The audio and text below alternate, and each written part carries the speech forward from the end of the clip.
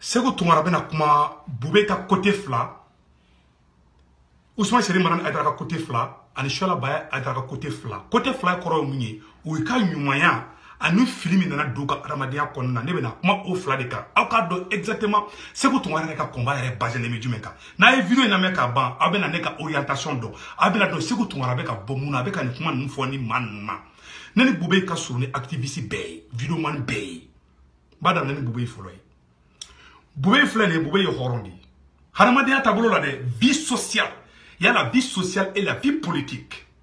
hali ni maa bɛ se ka bɔ so kelen kɔnɔ a ka hakilinataw tɛ kelen ye n bɛ fɛ maliyɛnw k'o de faamuya bube bɛ na fɔ ne fa de ne tɛ se ka bube kɛlɛ non mais n bɛ se ka ba ka hakilinata ma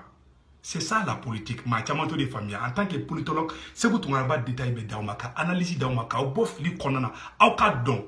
minnu ye mɔgɔ ye dɛ parce que dɔw bɛ hali n'i kɛra bɔ ka da u t'i faamuya koyi bube filɛ nin ye bube ye hɔrɔn de barikaden de fana don bube tɛ dangaden ye bube y'a ɲa sigiɲɔgɔnw ye a y'a ɲa balimaw ye a y'a ɲa teriw ye a y'a ɲa kanubagaw ye hali n'i ye bube ye fo a b'i laminɛ n'i y'a wele a b'i ka telefɔni ta a t'a yɛrɛ fisa mɔgɔ ma a majigilen don a sabalilen don a muɲunen fana don o mɔgɔ de don socialement n ko tɛ politiki yɔrɔ ma dɛ socialement mali politisiyɛn ka dɔgɔ mun b'a bɔ a bɛ layila a bɛ a bɛ layila sa mɔgɔ ye kuma bɛɛ san o san ne yɛrɛ somɔgɔ caman bɛ yen ni bube y'i teri ye k'an yɛrɛ to lise université la an tun bɛ taa an bɛ bube an bɛ taga ka biro la dɔrɔn a bɛ sɛgiw d'an ma a bɛ enveloppe fa wari la ka d'an ma c'est à dire a bolola bilalen don i ma activiste ninnu nɔrɔnɔrɔlen y'a la a tagalen ka bɔ premier sira u bɛ kule la u bɛ buni bɛɛ la c'est un monsieur très cool a bolola bilalen de bɛɛ a bɛ wari di activiste ninnu ma parce que u b'a deli de a taari wari di activiste ma k'i ka mɔgɔ neni dɛ mais u b'a deli parce que mɔgɔ min don n'i y'a deli a b'a d'i ma de il est honnête et sincère a y'a ka hala balima bɛɛ ye barika barika b'a kɔ dɛ an kana ɲɔgɔn nɛgɛ dɛ o y'o kote ɲumanni ye mɛ kote jumɛn na ne bana ye politiki kote o y'o don ye fo maliyɛn ko de faamuya ka fɔ i ni mɔgɔ bɛ se ka bɔ kɔnɔ kelen kɔnɔ maa ka suwa tɛ kelen ye i bɛ mɔgɔ dɔ fana wolo a ka suwa tɛ kɛ kelen ye mɔgɔ kelen fana kan donc n bɛ fɛ maliyɛn ko de faamuya politiki yɛrɛ taabolo la n b'a fɔ bamanankan jɛ la sɔnna jɛ an b'a fɔ angilɛ ou bɛ faransɛ la mɛ n b'a fɔ bamanankan na parce que bɛɛ tɛ tubabukan mɛn maliyɛn a y'a bila aw kun na i ni mɔgɔ bɛ bɔ so kelen kɔnɔ mɛ a ka tilata tɛ kelen ye moi je suis un nationaliste un fou de l'Afrique, un fou du Mali, un vrai nationaliste. aw bɛ nationaliste kɔrɔ dɔn mɔgɔ min ko k'ale tɛ fɛn wɛrɛ fɛ n'a yɛrɛbakun tɛ a siya a ka jamana a bɛ sa nɔfɛ ne y'o mɔgɔ dɔ de mali ka di ne ka tɛmɛ si ni kɛnɛya kan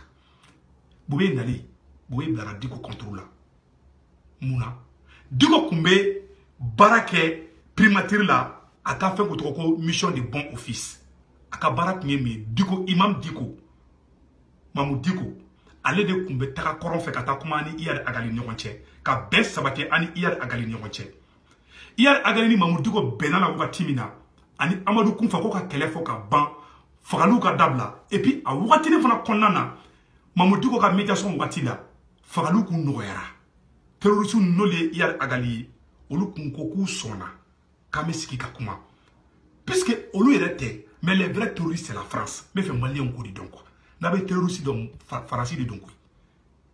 donc iyad agali ko k'olu sɔnna iyad agali y'a ka mɔgɔw bila k'o ni mamadu duko ka ɲɔgɔn ye o mɔgɔ bɛ mobili min kɔnɔ o convoi faransi ye o bon misiri la k'olu ka mobili faga k'o mɔgɔ bɛɛ faga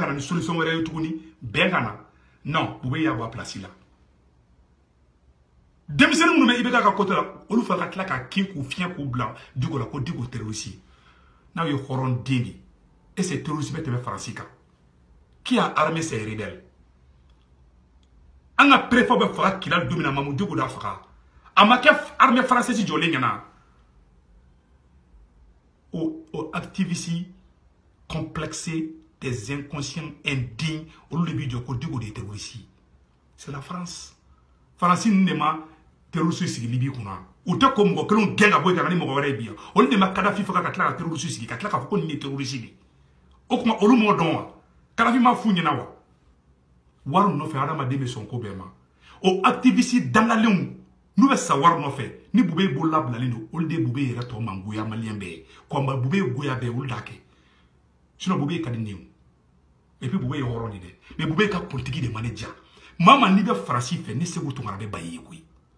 voilà le divorce entre mon père et moi sur le plan politique mɛ adamadenya la an bɛ ɲɔgɔn kɔ o ye bube ka yɔrɔ di parce que bube nana faransi ka zi de kɛ que ça soit direct ou indirect a kɛlen tun bɛ ka faransi ka zi de kɛ hali n'a bɛ ka mali dɛmɛ mais en réalité maa minnu bɛ faransi dɛmɛ i tɛ se k'olu kɛlɛ e tɛ se ka diko kɛlɛ k'o bɔ a place la olu bɛ ka farasi critiquer o bɛ fɛ bɛn ka na e nana k'o kɛlɛ donc automatiquement on se met en tête que e bɛ ka farasi ka jeu de kɛ et puis bɛɛ b'a dɔn i bɛ ka e mun bɛ kule la don o don ko eh, terroriste ye amadu kufa ko an ka an ko k'an ka ɲinɛ farasi kɔ c'est la france qui est le vrai terroriste aw maliyɛn ala sago aw sago farasi de ye terroriste ye olu de bɛ ka mɔgɔ ninnu armé koyi aw dara la aw ma dara la c'est la france ye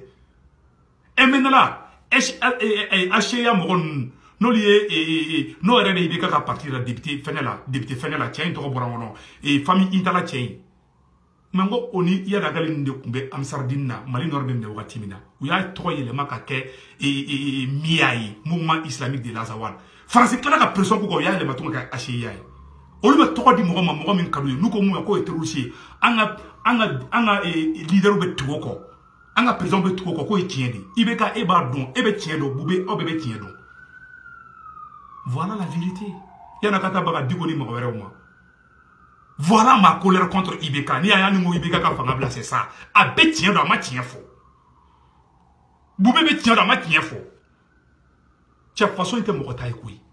moi j'aime mon pays plus que mon père j'aime mon pays plus que moi-même parce que ne bɛ sa Mali bɛ to yen ne fa bɛ sa Mali bɛ to yen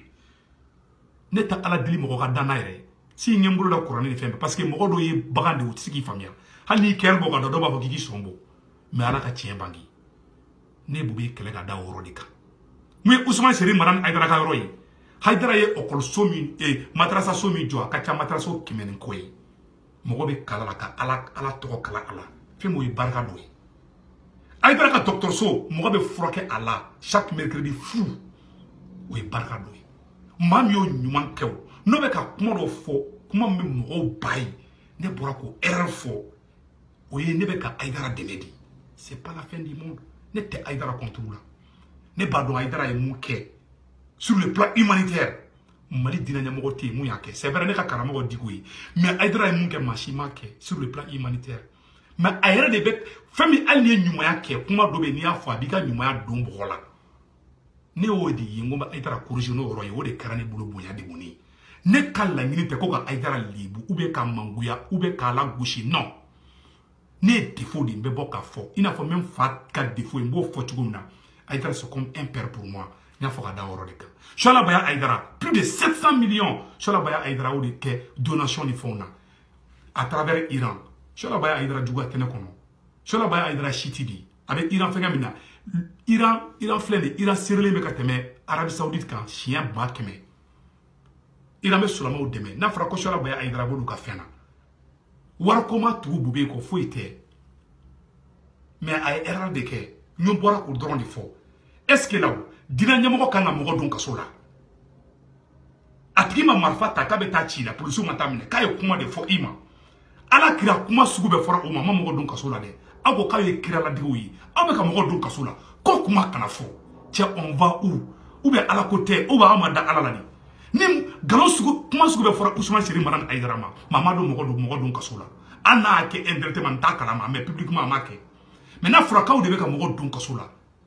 aw dun aw dun ye diinɛ ɲɛmɔgɔbaw de ye mais o kuma kan ka fɔ o ka dabila aw kan ka to ala de kɔfɛ hali ni mɔgɔ dɔ taara k'a bɛ taa mɔgɔ dɔ don kaso la aw de kan ka wuli k'a kana kɛ k'a ka to ala ma mais ni aw yɛrɛ kɛra o kɛbaga ye o kuma bɛ fɔ koyi o tɛ kuma jugu ye ne bɛ sɔrɔ baya fɛ de o de y'a to n b'a a fɔ a ka nin dabila n bɛ usumani seri mara ni ayidara n b'a fɛ o de y'a to n b'a fɔ a ka nin dabila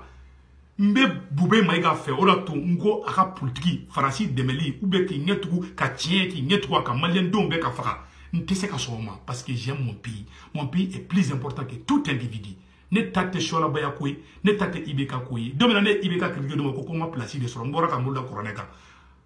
a mɔgɔ jumɛn bɛ a indi jumɛn bɛ yen nɔ k'a y'a bolo da kɔrɔnɛ kan k'a sera ka kuma kɛ ka mɔgɔ la convaincu c'est le complexe intellectuel mais sur la baya i juguya tɛ segu kɔnɔ n'i nana ni kɔrɔnɛ ye n bɛ n kale a la aw ta tɛ juguya kɛlɛ mali ko kɛlɛ de don mɛ mɔgɔw de ko kana n bolo dɔ kan n tɛ n bolo dɔ kan ne ta ye mali ko de